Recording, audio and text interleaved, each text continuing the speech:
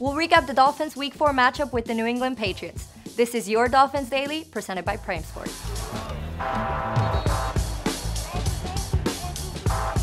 Missed opportunities was the unfortunate theme Sunday as the Dolphins took their first loss of the season against the Pats. The level of competition needed from the Fins just wasn't enough to keep the team in the contest. After the game, Coach Gase discussed what the guys can take from the defeat moving forward. You know, we had an opportunity. We came into a, a place that's tough to win, and we didn't we didn't do a good job in any aspect of the game. At the same time, we got to put things in perspective. It's one game. We got to go back to work. We got to find a way to win another another game on the road. The few bright spots from the Fins came on both sides of the ball. Cornerback Bobby McCain and safety Minkah Fitzpatrick picked off quarterback Tom Brady. This was Minkah's first INT of his NFL career.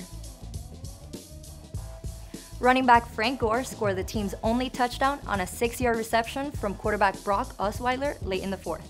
This was Gore's first TD as a member of the Dolphins. Miami will look to quickly turn the page and begin preparing for their Week 5 matchup against the Cincinnati Bengals. Now 3 and 1, what are your thoughts on where the Dolphins stand?